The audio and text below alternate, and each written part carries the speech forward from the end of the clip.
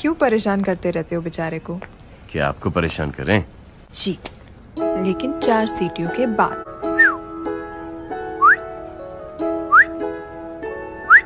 आपकी सीटी नहीं